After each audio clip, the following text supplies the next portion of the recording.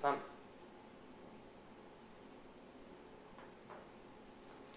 じゃがい君のライブハピネス。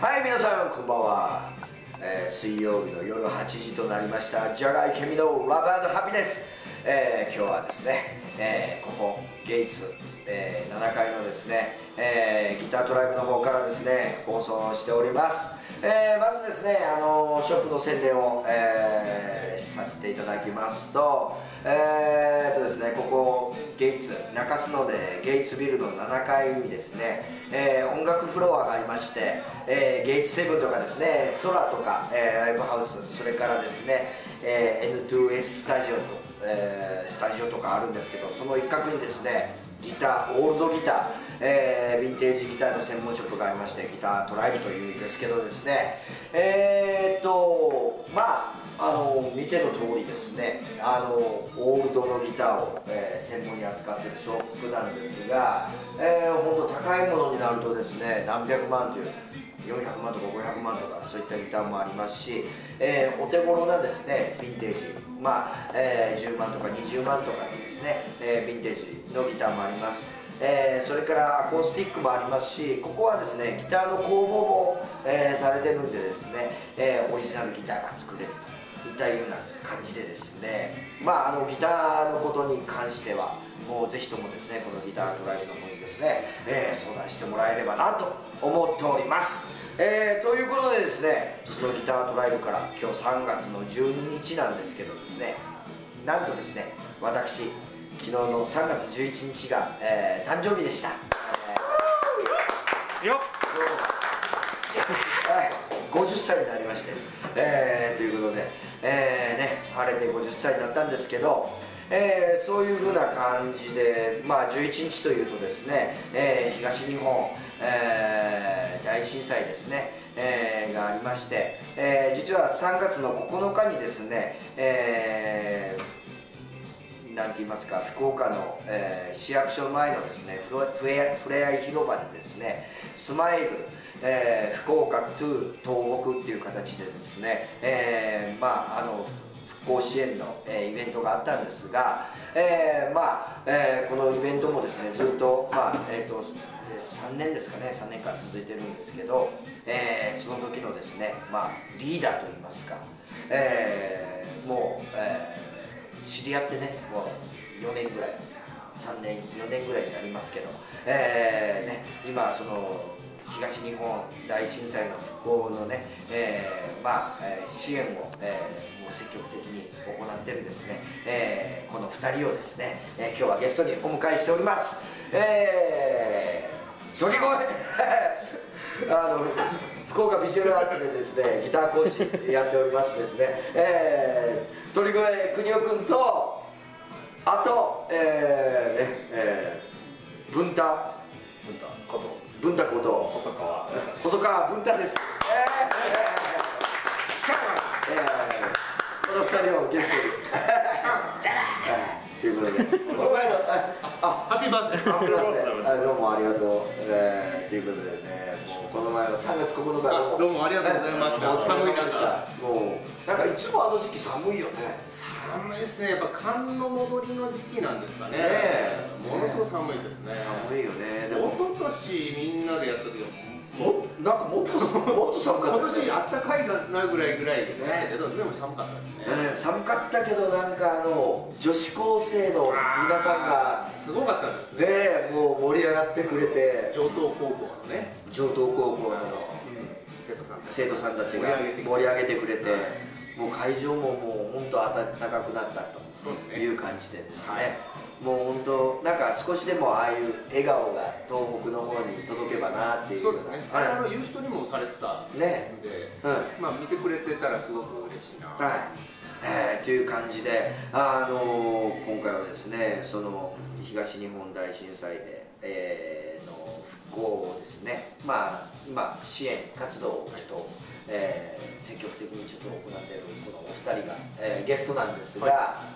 えーまあ今日はね本当あのき昨日が11日ということで、今日は12日でまあ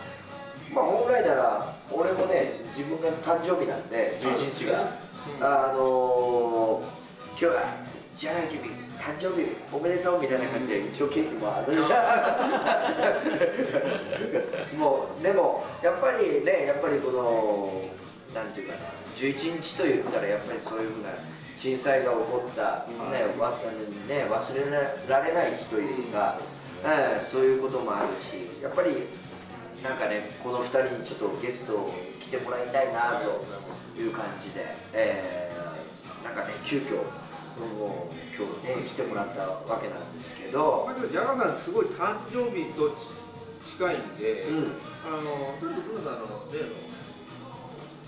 ちょっとあのそういう流れでなんですけど僕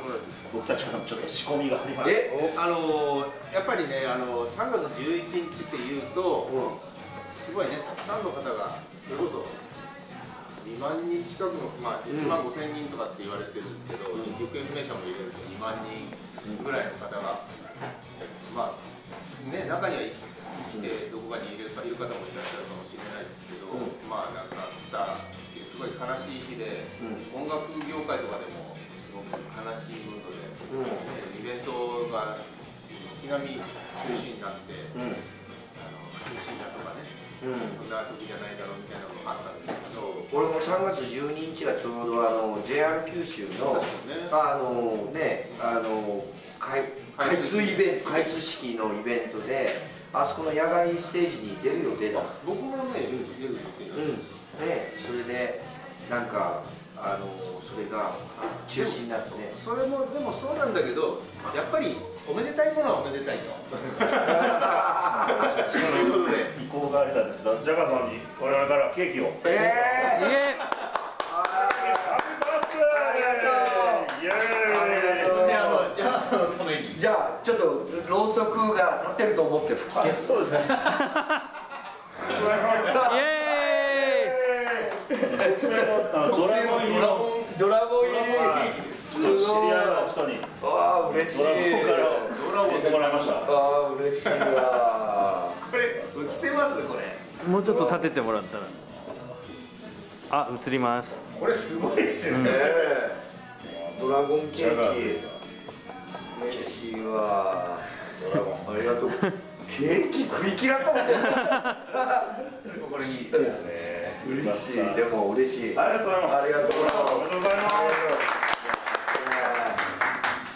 すでもそういうあの悲しいばっかり言ってても、うんまあいかんと言ったら失礼かもしれないですけど、うんだからジャガーさんってものすごく複雑だと思うんですよね僕誕生日がやっぱり震災当日ってなるとうんなかなかこうおめでとうみたいな感じにしにくい部分って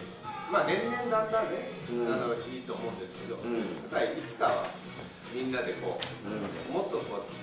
バーンと。なんかねあのいあの楽しくねそういうバーッとなればいいなと思う。だから僕震災のイベントっていうのも、もちろん黙祷とかねするのはすごくうん。みんなに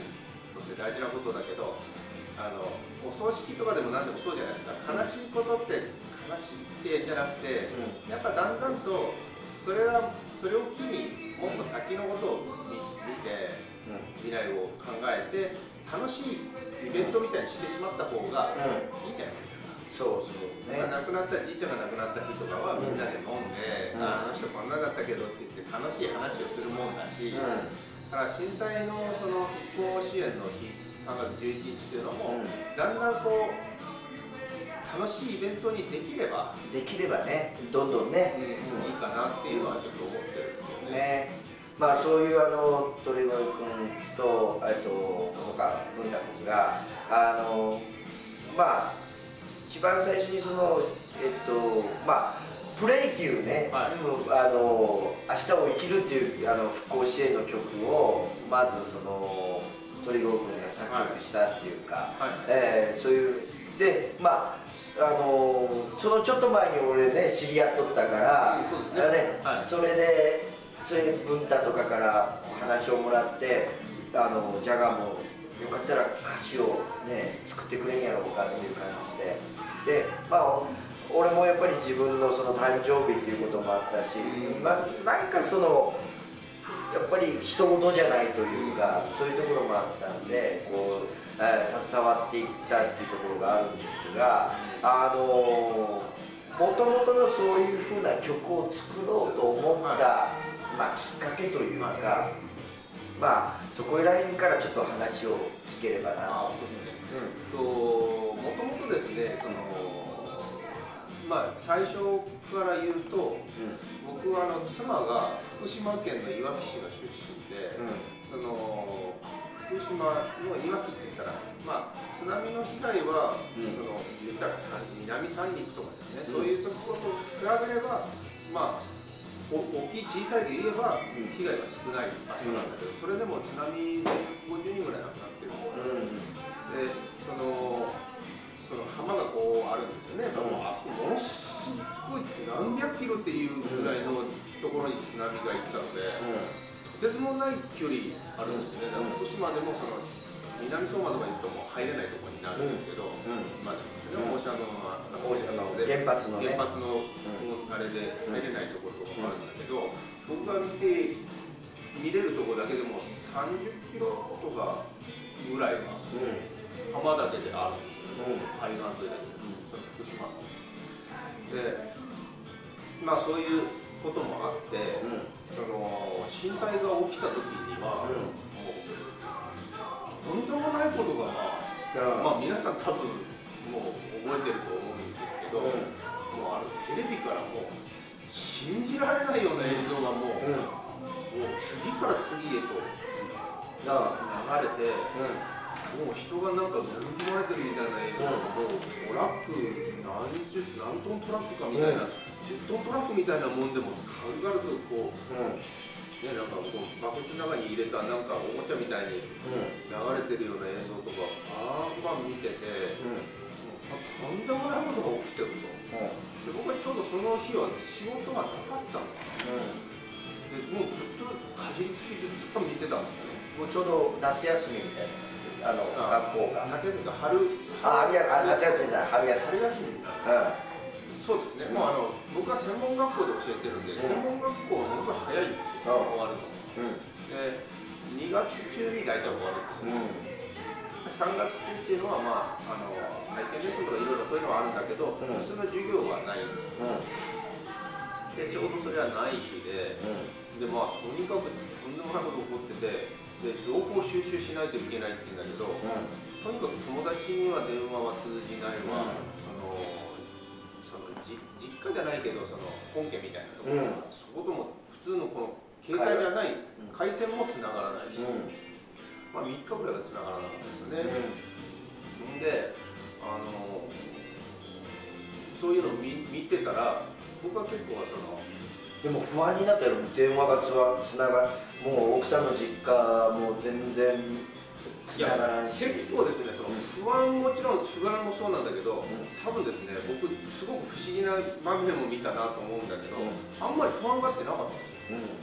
だから不安になっちゃうと、とんでもなく不安になるからなのか、あまあよくわかんないけどお奥さんももう気が動転してるしね、い。や逆になんかまあ大丈夫じゃないみたいな、なんか言い聞かせるそういうまあ感じ今言い聞かせてたね自分にねいやまあ大丈夫でしょみたいな、まあその山の方の家だったっていうのもあるんですけど、うん。うん。でも知り合いが海岸沿いの人もいっぱいいるわけで、でも僕はもうその旗から見てるじゃないですか、うん。言ったん。でもた例えば自分のじゃあ地元がそうなった時に、まあもちろんその助けに行かなきゃとかその距離が近ければですね、うん。だけどまあ言ったら距離で言うと1500キロとは言わないぐらい多分ここからだとあるんで、うん。まあおいそれとね12時間でパッと行ける場所じゃないんで、だからなんかそれはどういう感覚だったのかは僕も実際聞いてはないんでなんともわかんないけど、うん。そんなにあのうわーみたいな感じではなかったんですよでも僕とんでもないと思ったんでとにかくずっとあのあの聞いて、あの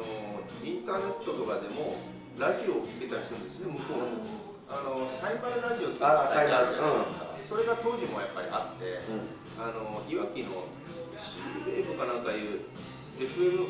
がサイマルラジオやってたんですよね、でそれをずっとつけてたらとにかくずっとみんな情報を流してくれてたんで、それをずっと流しながら、でまあユーストリームでもなやあのテレビを、あの時はあのユーストリームって基本的にはテレビとか絶対流しちゃダメじゃないですか、でもあの中学生かなんかがテレビをユーストリームで流してるっていうのがチャンネルがあって、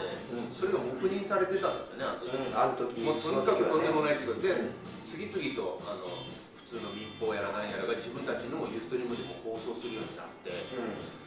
でそれで僕はもうあのテレビは自分の部屋になかったけどもうユーストリームとかでテレビ番組もバーっていっぱい見ながらやってたんですよね、それでやってたら夜にあの僕らがそのコミュニティとかで、あのお付き合いのあった森さんっていう方がギターを弾く方ですね、あの森さんって IT の社長グローバルブレンズっていう会社の社長なんですけど、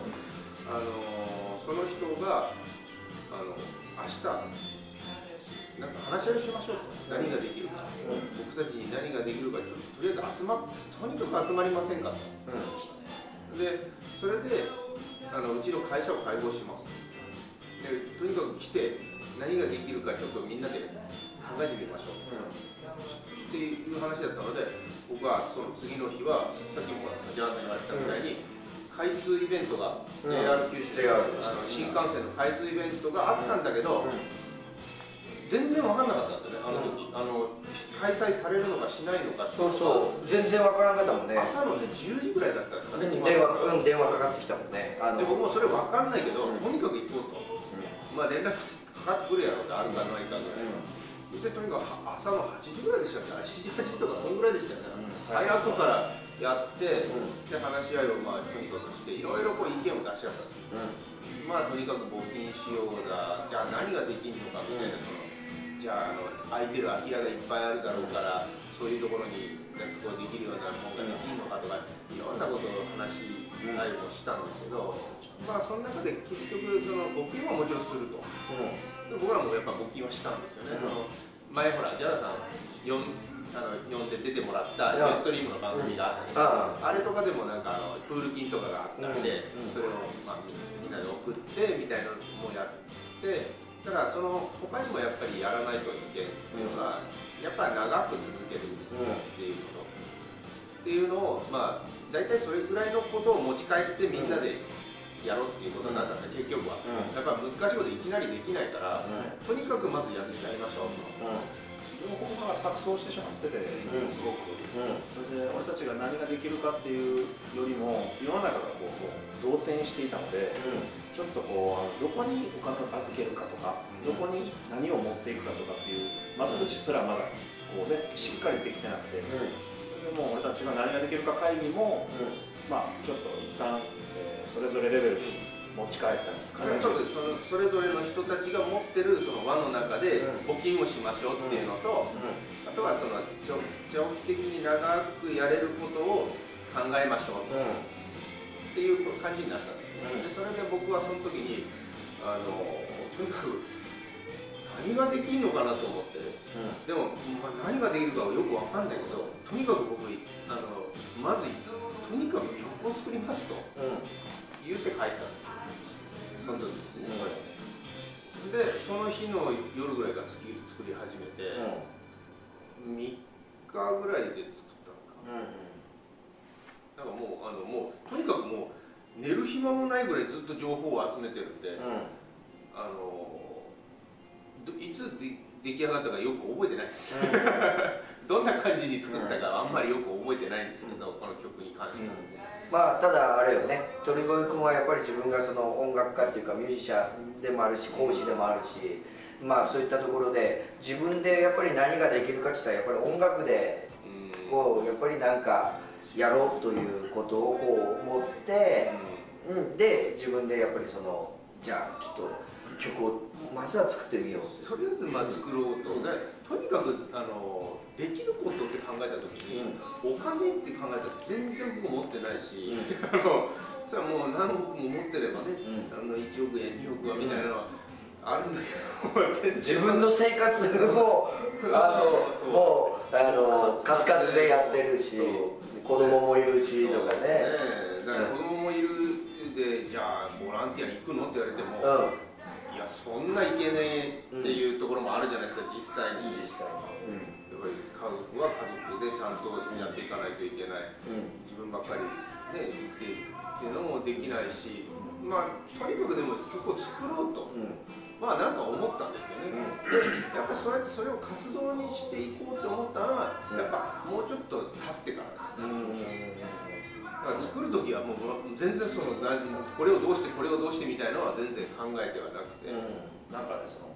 エンターテインメント性のあるものをうん。やることに、あの妙な不謹慎さみたいなのが、うん。くあのこう流れていてうん。で音楽をするっていうことをなりわいにしてる鳥越君たちがやっぱりその自分たちの音楽が止められてるというような、うん。ちょっとその悲しさを感じたのがあったんです、でその中で曲をまあ作ろうって言ってうん。一、人こもって作ったっていうところがトリちゃんはすごくスタートがその時、まあ、行為としてはですねうん。すごいあの大事なことやったんやろうなって今思うんですうんだから僕この前何かの時にですねあのメールをこうバーッ2011年の3月あの11日以降のどんな風にやったのかなと思って見てたら14日の日かなんかに僕デモを人に渡してるんですよ。メールで送ってるんですよ。だから多分3日ぐらいで作った2日かな2日か3日ぐらいです14日やったか16日やったかちょっと忘れたんですけどあの打ち込んでやったやつを送ってたんでそのぐらいで作ってでギャガーさんに詩をお願いしたのは多分5月ぐらいかな。いや4月だった4月だ。4月4月のえっと5月にレコーディングするから、ね5月にレコーディングえっと4月の頭にもらってでどれぐらいで仕上げたらいいっつったら、まあ、2週間ぐらいって言ったからもう、えっと、一応もうすぐ仕上げて送って何回かやり取りしたよね、ね、少し少しちょっと直してもらったりして、うん、最初のところを英語にしてもらったりとかあのここの繰り返しはだんだんこういうふうな感じでとかいうのをこう相談しながら。あの時ミクシーとかでやってそうそうそうそうそうそうそうそう。だそうだ。ミクシーでやって、うんやってやってそうですね今フェイスブックはねねすごく主流だけどあの時はまだミクシーやツイったねッターとミクシー。ぐらいやね。そう考えると時代もどんどん変わってきてるいやそうですよ。ねあのあのミクシーはすごかった当時。あのこう盛り上がってそうですね。だからあのー僕いわきとかにこう行くじゃないですか、うん。でそういう時にミクシーを通じて知り合った人みたいな人と、うん。になんかその海岸沿いのところ案内してもらったりとか、うん。そういうのがありますもんね、うん。あとはツイッターで知り合った議員さんとか、うん。ですね市議会議員の方とツイッターでちょっと情報交換して、うん。えぜひじゃあ来る時は会いましょうみたいなので会ってとかっていうのもあったりとかで、うん。そのインターネットを介してっていうのはすごくここ近年すごく多いですね。まああの本当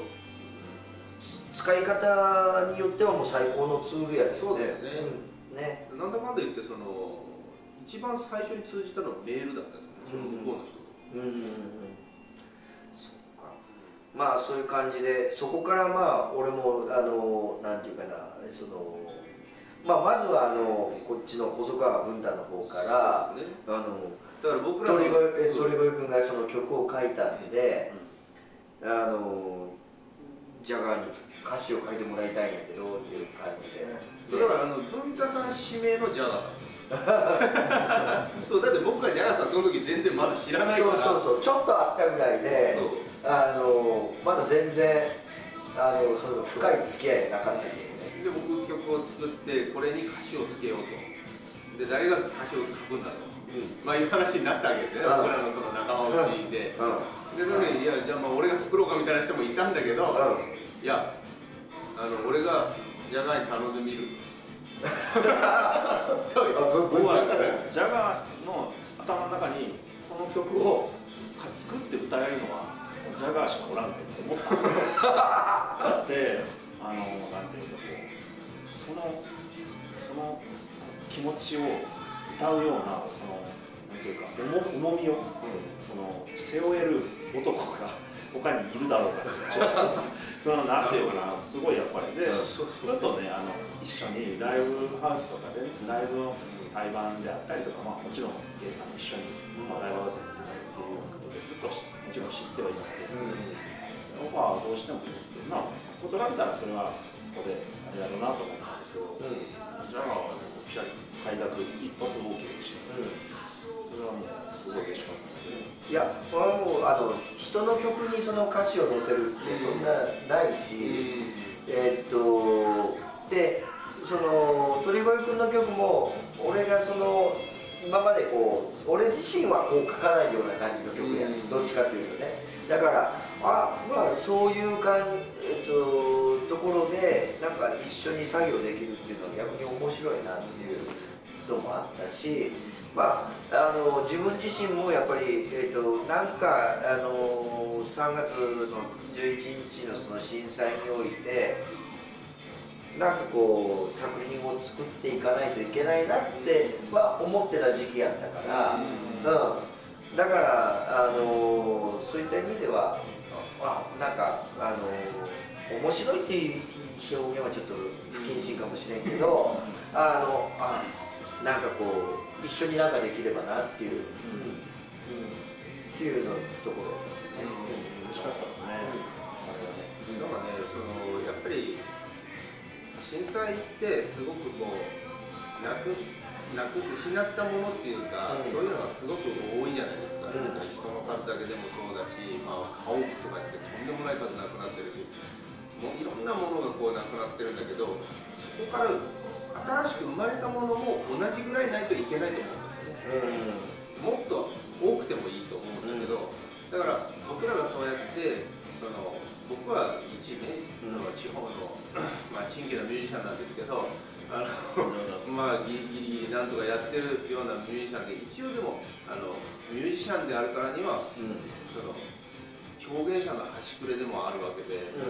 まあもちろんジャガーさんも、うん。そうやってライブ活動のあれ僕僕なんかよりも全然大先輩だしライブの数なんかで僕信じられないぐらい数すごいなとかいつも思いながら見てるけど、あのそうじゃないですか。まさに表現者であって、でそういうやっぱり僕のそのあのそういう部分がなんかこうその震災を機に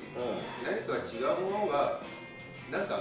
生まれたりしたのかもなっていうのはあるし、そこでジャガーさんが僕、ね、人の曲には打ちつけたことないんだけどでも新しく一歩やってみようとかっていうのも一つなんかうん。新しいものが生まれてっていう、それですごくでも僕ね実はあの歌詞すごいいいなと思って、あの最初よく分かんなかったんです正直。僕も。でもプレイ明日を生きるっていう曲がありました。その話いっぱいしてるん。で、そう検索していただいて、YouTube とかでもアップしてるし、うん。サウンドクラウドっていうところプレイ。プレイ。PRLY。LY あ、L じゃない、あ RY。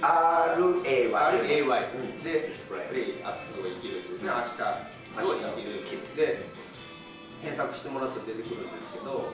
その、えっと、何を言おうとしたんだっけ？歌詞がいいって話そうそう。最初ちょっとよく分かんなかったんだけどでもずっとやっぱこうよく見ると歌詞を歌詞を書いてるところもあるんでもし探してもらったらですね分かると思うんですけどすごくね誰誰が見てもなんかこれちゃんとその人のストーリーであの理解できるというかその情景をこ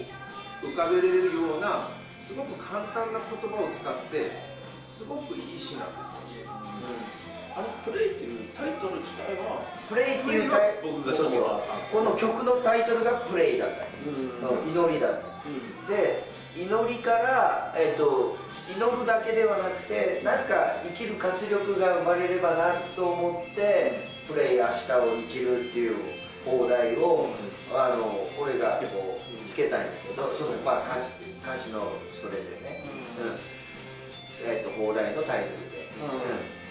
であのまあ難しい言葉はこう逆にいろんな人が聞くかなと思って、極力避けて、えーまあ、どっちかというと簡単な言葉をこう並べながら、ちょっといろんなそ想像というか、まあ、自分がその例えば、えーと、なんかいろんな状況に置かれて出てな何かをなくしてもなんかまあ明日明日、まあ、そそこで生きようとか、まあそのたとえそこので夢をなくしたとしてもまたその、えーと、また光がそこに差してるからっていう感じでそういうふうな感じのそのイメージでこう作ったというね、まあ鳥越君から大体そういうイメージみたいなのをこう聞いてたから、僕ものすごく簡単なイメージをいくつか言って、こんな感じなんですみたいなんで作ってもらったんですよね、だからすごい簡単でもそれをやっぱりね僕僕は自分が詩を書けないんで、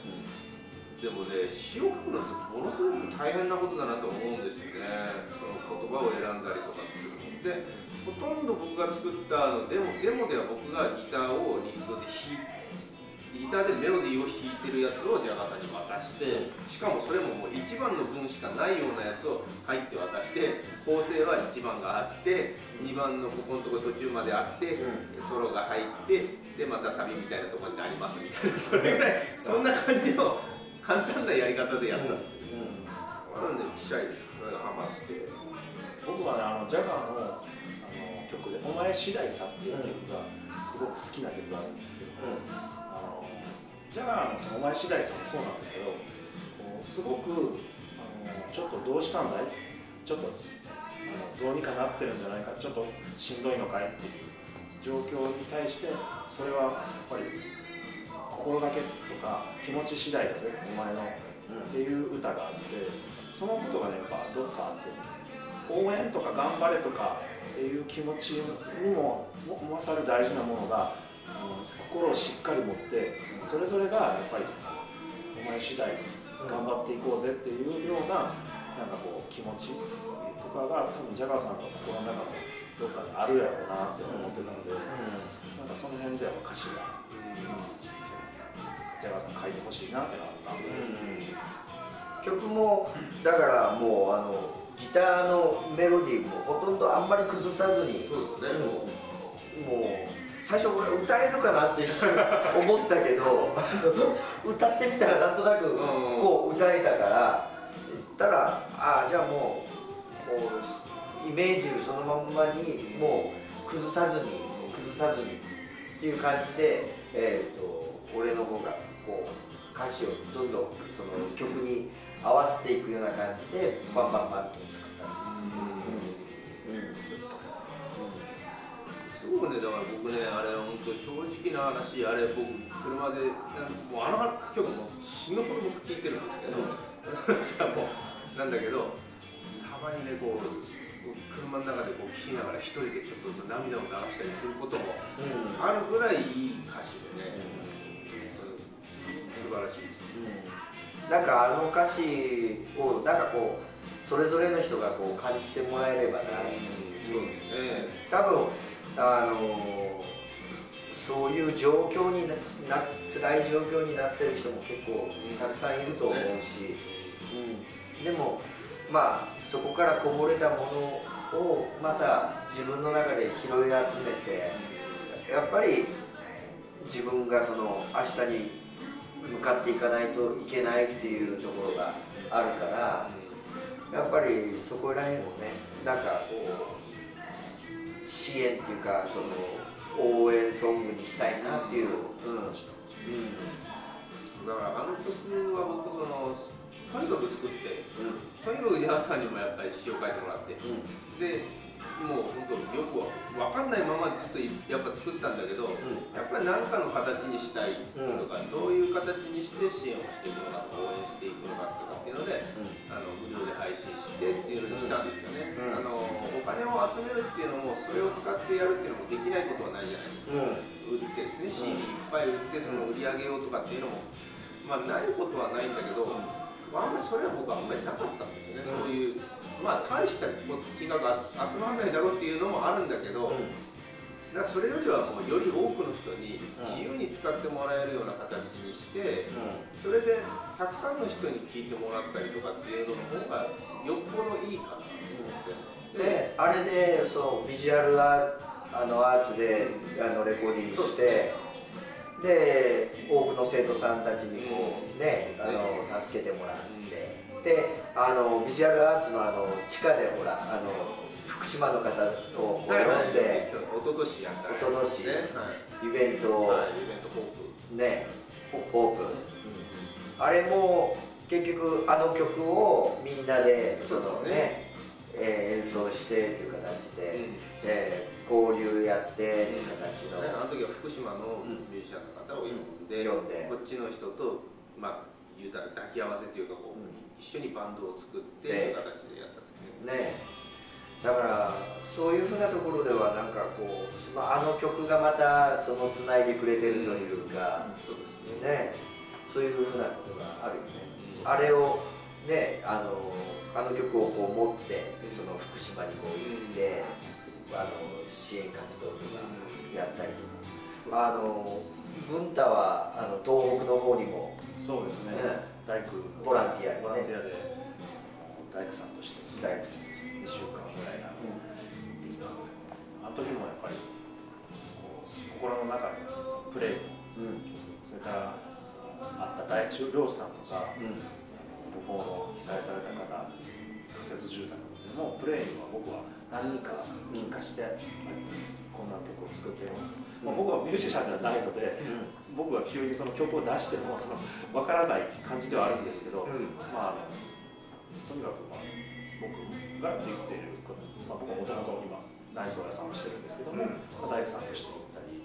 してそれの活動もやっぱプレイをやったことのが自分を東北に一度は行って自分があの中に関わってるっていうやっぱり重みも感じてこようというのもありましたうん。今でもなん。かあのほらあの東北の方となん。か交流がね交流がそうなん。ですよ、あのその大工やった時にバラバラになった旅旅館のですね、その砂のかき出しとか、床板の解体をずっとやっててでそのあの旅館が、えっと今年国から助成金が出て復活してオープンしてでまたすごく盛り上がりだして、第2号店ができるっていう話になって、でぜひ来てください今度は行きましょうよ。うんね風呂に浸かり。風呂に浸かり。ね。最高。ねいいね風呂に浸かり。ね。でねその漁師のさんの宿なので、うん。船で漁に行ったやつがそのまま出てくるんですけど、うん。まあその東北の立派な魚が出てくるのでですね、うん。僕はその人たちとあのだからいろんなものを送り合ったりすごいそれはず、まあ、本当にプレーのこの活動にいてるっていうことで、そのことを忘れないんですよ。ね、そのプレーをずっとドリナとやってる、ジャガさん。の話もするし、であそうだそうだ。久しぶりにコーヒーでも送ろうかな。とか、そういうねなんか僕の中でのそのすごくゆる緩めの長くこう息のある鎖のような形になってはいるんですよなんか忘れないってことが大切やもんね。そうなんですよね。なん。かだからやっぱりその僕がこの曲を、まあ、何かの形があるってすごく大事で、その曲があるからこれがやれるみたいなことっていうのはあるじゃないですか。イベントにしても、うん。そういうなんかライブにしても何にしてもそういうのってあるじゃないですか、うん。こういう番組に出させてもらうというかいうのも、うん。そういうのがあっての話だし、うん。で僕たくさんの人にね関わってもらえたりとか、あのするとすごくいいなと思うんですよね。例えば文太さんとかはベースを弾いまあすごく重要な関わり方だけど、うん。やっぱり自分が関わってるとそれをこう応援してくれたりとかは、うん。すそれこそ普通にそこら辺で曲がなんか知らない曲が本気でかかってるのよりは、うん。あ俺が参加した曲だってなればうん。その分あそういえばあの時あれがあったとかってすごく思い出すじゃないですか,、うん。そういうのがすごくいいなと思って。その音楽音楽って音楽だけではそんなに力があるものではないけど、ん。それをやっぱりやってる人聴く人とか、うん。そこに集まる人とかっていう、そういう人たちのパワーが集まるとすごいことになったりするじゃないですか、うん。そっちの方が僕は大事かなと思う、曲の良し悪しがどう、まあ、良し悪しも大事なんだけど、でもすごく僕はいい曲になったと思ってるし、でもそれをやっぱり中心にそれに関わってくれた人たちがそういう意識を持ってくれたりとか忘れずに何かの時はこういうふうに集まってくれたりとかっていうのがすごく力になると思うしそういうのにじゃあ、まあ、すごく今のところはまだずっと、あのいいなと思ってるし、うん。今後もですね僕はあのやっぱり復興今ね震災の支援っていうのはやっぱり3年経つとですね何でもそうなんですけど3年とか3ヶ月とかいろいろあるじゃないですか。3年経つとねやっぱりもう随分随分もうあの期間後なってきたみたいなうんところはやっぱりどうしてもあるんですよ、今度のあの福岡市役所前のあのイベントもなんか今年で終わり。今年で終わるみたいね3年やもんね。でまあそれはある程度あの期間の必要なものとかっていうのはあるんで仕方ないなとは思うんですけど、その福岡でやっぱり震災のことを聞くっていうことがだんだんやっぱり少なくなってきてるのもあるし、うん。まあこれからかなっていうところですね僕としては。うん。逆に今まではな何もしなくても支援してくれる人とか、うんっていう人は結構いたし、ん。でもやっぱり世界中でいろんな他のところでも地震があったりとか、うんいろんな災害があったりとか、うん。もちろんそれも支援してあげたいんだけどそのだんだんこういろいろやっぱりあるので。それはやっぱりだんだん薄れてくるのは仕方ないけど、うん。でもやっぱり僕はそういう活動をしてるので、まあこれからが逆にや、うん。ちゃんとやっていかないといけないかなっていうのは思ってて、やっぱあとそのすごくいい曲にもなったし、いろんな人からやっぱり手伝ってもらって、ん。活動も続けられているので、あの僕前ジャガさんには少し言ったと思うん。ですけど、うん。僕あのオリンピックで。オリンピック。オリンピックのね開会式ってあるじゃないですか、あれの時にはミュージシャンがいっぱい出るんですよね、うん。いろんな曲で、もうどこに出てもいいから僕絶対出てやろうと思って、出場。オリンピック出場を今もう今プレーのプレイという団体がもしあるならば。今の当面の目標はオリンピック出場、僕スケジュールは開けとけスケジュールはじゃあ俺も開けとかもちろん開けといてください。2020年の大体夏の7月とか8月とかそのぐらいの、うん開けとかないか開けとかない開けとってください。で、あのどんな生き方でもいいと思ってるんですよ。うんでもやっぱり出たいと。やっぱりその復興って言ってもやっぱり3年経つとこんな感じだし。だからもう2020年っつったらあと今20 14年だからあと6年ですね。6年経ったらもっともっとでも実際はそれぐらいの頃には本当に復興していないといけないんじゃないかっていうかその、ね、していってほしいっていう願いとやっぱりそれに向けて僕らもやっぱり頑張っていきたいっていうところでそのやっぱりこういうタイミングでオリンピック開催されるってことはやっぱ僕らオリンピック出ないと、なかなかあのほらあのもう亡くなっている人がいてその例えばその土地の権利とかをそその人が持ってて、そこがその誰もいないとうん。何も扱えないとかっていうのがあったりとかね。その復興しもう綺麗にしたいけど誰もいないからそれはあるみたいねね。っていうのがあるみたいでね、そういうのもでもなんか国国としてなんかこういろいろこういろんなことでこうやってもらえなんか違う形でねなんかこう特例というかねそういうふうなのをね僕この前福島に行った時に、うん。福島でもやっぱり津波の被害がすごいひどい場所とかっていうのもあるんですよ。ね、でそういうところはもう集落が全部あの建物の基礎の状態になる、要はもう上が全部ない、でもちろんあの少し残ってたところもあの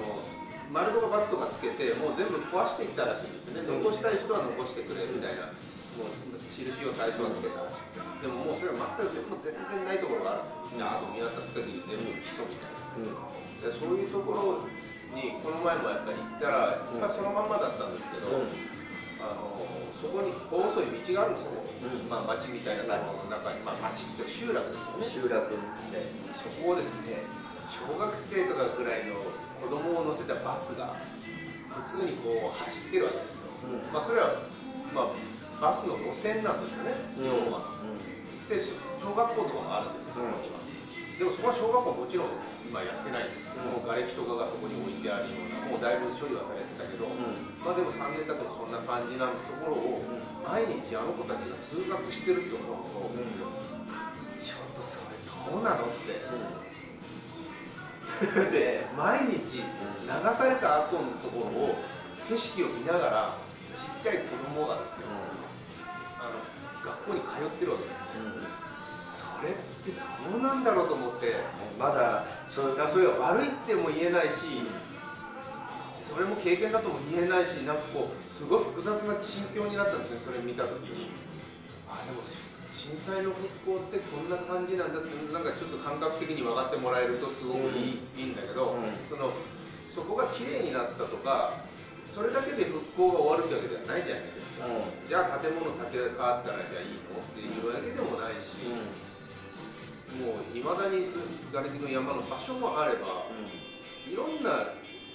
そのとにかくやっぱ広い範囲なん。でいろんなところがあって、うん。そのニュースだけでニュースで出るだけでは全然判断できないほどものすごくいろんなことがやっぱり起こってるんですよね。だからそういうことをやっぱりそのなんだろうやっぱりいろんな人に僕も僕も伝えていかないといけないし、うん。やっぱり僕のせめて僕の知ってる人たちは、うん。単純にこう新聞に書いてあったからこうなんだろうとか、ニュースで言ってたからこうなんだろうとかっていうことじゃなくやっぱりいろんなこう目線からの見方があるっていうのを考えてもらえるとすごく僕はその支援っていうのっていいかなと思うんですよね、うん。だから単純にじゃあお金をあげればいいんだではなく単純に物をどかしに行けばいいんだとかじゃなない部分もすごくたくさんあるっていう。まあ鳥越君はもう本当なんもう奥さんの実家が、まあ、福島やから、そうですねまあ年年に2回ぐらい大まあ体、ね、え行って帰って。行って帰って。向まあ向こうでライブやったりとまあか、そうですね。ちっちゃいなんかあの産婦人科のロビーでコンサートさせてもらったりとか、なん。か友達ん家でやったりとか、うん。あの施設みたいなあの市の施設みたいなところでうん。なんかイベントやってるところでやったりとか、うん。ちょこちょこそういうふうな活動をやってるんですけど、ん。でまあ、やっぱそういう時に聞く話とかをやっぱり伝えて、うん。こっちの人もこんなやつやってるんだよってこの人に伝えたいし、うん。まあすごいちっちゃい活動をやってるんですけど、うん。そういうのをねやっぱ僕らミュージシャンっていうのは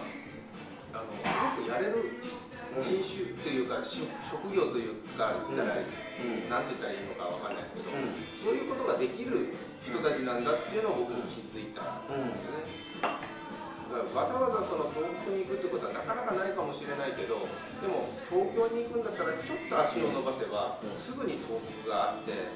それこそ新幹線だったら1時間2時間行けば、もう全然その仙台だろうが何だろうが行けるわけですよね。だからそういうふうなやっぱりこう僕らってすごいいろんな人に会えるじゃないですか、うん。いろんな人と会えてそのねそれは会社の社長さんもいれば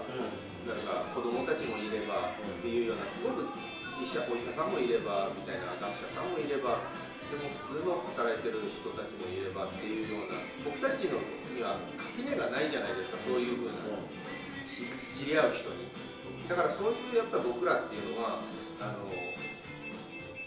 自分の知ってることを人に伝えたりとかっていうのもすごく大事な仕事っていうかその役目の一つ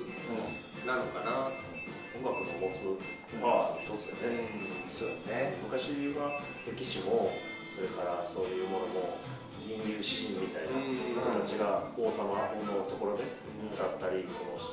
町々で歌いながら歴史も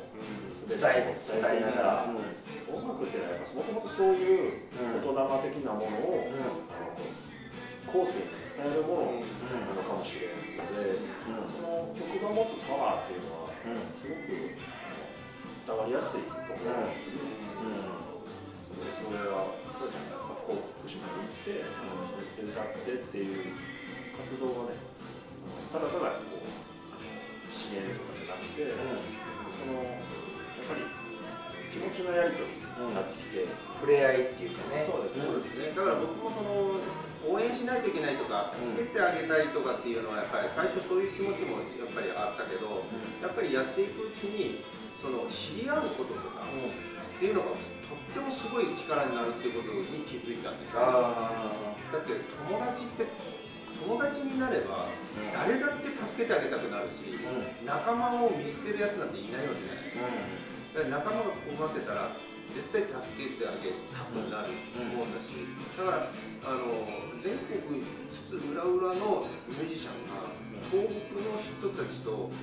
あの本当にお友達がいっぱいできちゃえば、まあ、ミュージシャンじゃなくてももちろんいいんですけど、あの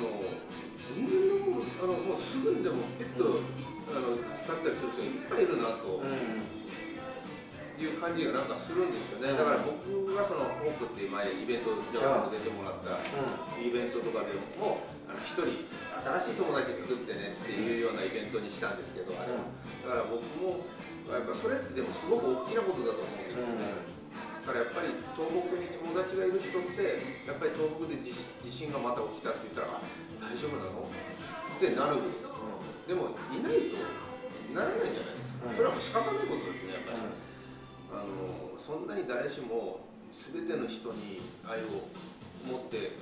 じゃあそれは無理じゃないですか、言ってもそんな難しいことはやっぱできないんで、でよもっぽどねなんかもう、それマザー・テレサみたいなね。ねすごくあの力を持ってる人やったら別やけどね。一人一人ができることって限りがあるし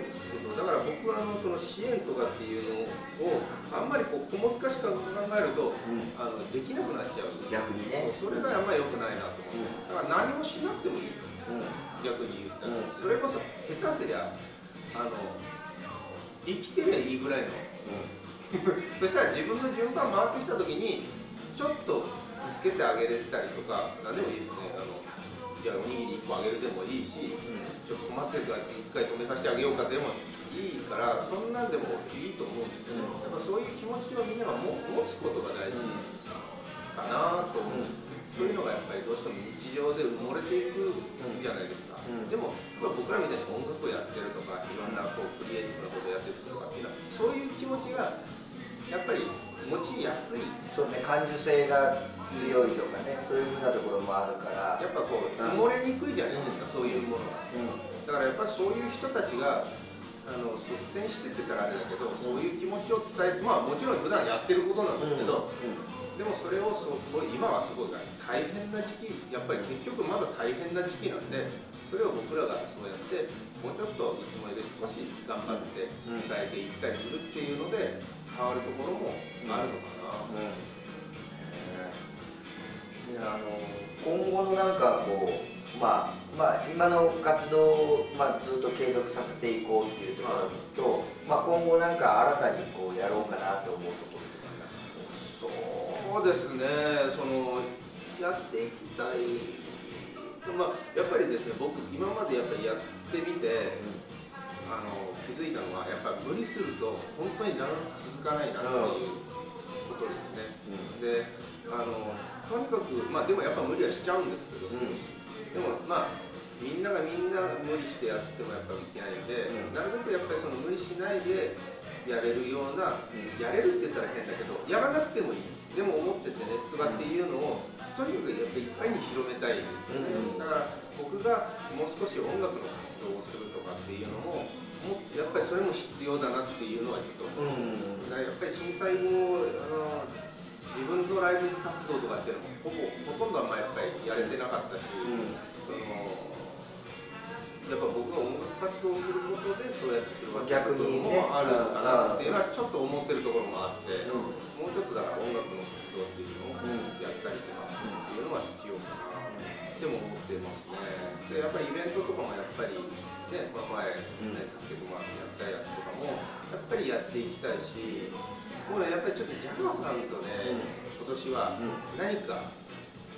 やろう何かをやりたいですね。いやこの前ちょっと言ったけど、そうこの前そうそう曲作ろうよって言われて。曲もう一曲ちょっと作そうですね。それいいですね、またあの曲作ってくれたら、俺ちょっと歌詞を。そのスタイル、うん。いいですね。まあそのスタイルでやりたいなと思って、うん。あのプレイは、あのプレイからねそのフォークになって、僕今回スマイルっていうのだったじゃないですか、うん。このね3年間の話っていうのはとてもトレトレちゃんの無理のない、うん。最初はね祈りそうね。祈りから願いたまあ希望からそうですね。えーそれから笑顔ですね。この無理のない形に動いててプレイが、ね、少し変わっていくと思うんです、この今の俺たちの曲っていうのはまた一つ、うんいるなという感じもしますね、さすがやねなんかコーディネーターやっぱうちのマ敏腕マネージャー。やっぱあの旧大哲学科を中退してるだけあるありがとうございます。これだけで敏腕マネージャーです。今まで。鳥越君のギターの出演以来僕を通して えーっていう感じで、まあ今日はもうあのーまあ東東日本大震災の、えー復興支援をですね、えー行っているこの2人にですねちょっと来てもらったんですけど、えーじゃあちょっとここいら辺でプレイをそうですねちょっと演奏してみますか。はい。じゃあ準備します。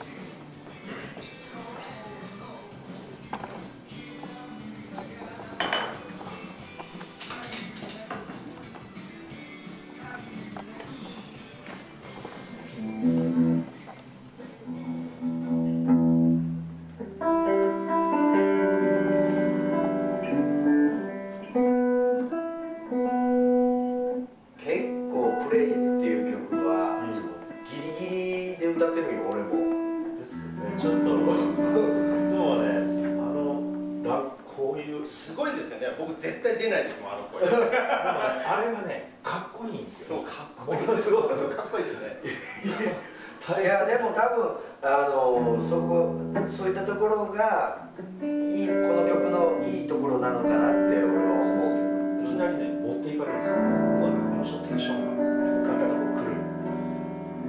生半可じゃちょっと歌えないよね。俺も本当にねあのレコーディングの時に、それまで一回もジャガーさんのやつを聞かずに、うん。いきなりバーンってあのじゃあ一回ちょっとやってみようみたいになった時に、ガーンって言った時に俺ちょっとねあの涙出ました 本当びっくりしてじゃあいきますか、はい。プレイ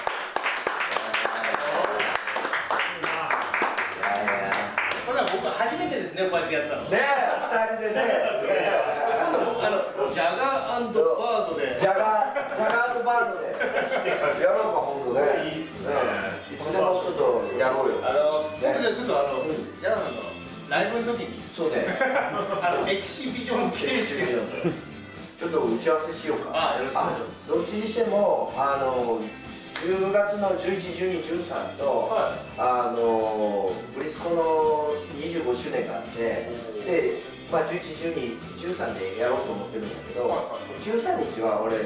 のバンドのダブルソウルっていうのと,、はいえっとブリスコがちょっとツーマンでやろうと思ってるんだけどその日にえっ、と何ていうかなあのあえっ、とじゃあプレイバンドってには間違いなく一曲作って、うん。そうね。2曲や。るやりましょう。プレイバンドはい。い。い。なぁねそれでちょっとだって10月の13日は開けとけわかりました、海外とか連れて行かない。であうん10月13日13日はい。だからその日はちょっとプレイバンドで2曲はちょっとそれまでにちょっと作ろうねい。やりましょううんこういうふうにちょっとユーストリームで宣言しておくともう忘れんけんね。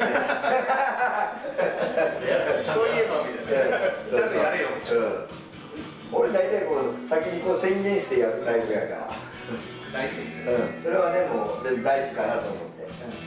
えーということで今日はねもう本当あの東日本大震災の、まあ、復興支援を、えー、と今、えー積極的にね、おえー行っている、えー、鳥越邦夫君と、えー、細川文太君あの2人をですね、えーゲストに迎えてのですね、えーラバーのハピネスでした、えーなんかね、えーまああのーまあ、このユーストリーム見てまたねなんかちょっと感じてくれる人が一人でもいればなと思ってます。はい。えー、ということでじゃあ最後はねラバーのハピネスで、ラバーのえー終わりますね。はい。じゃあいきます。じゃがいくみのラブハッピネス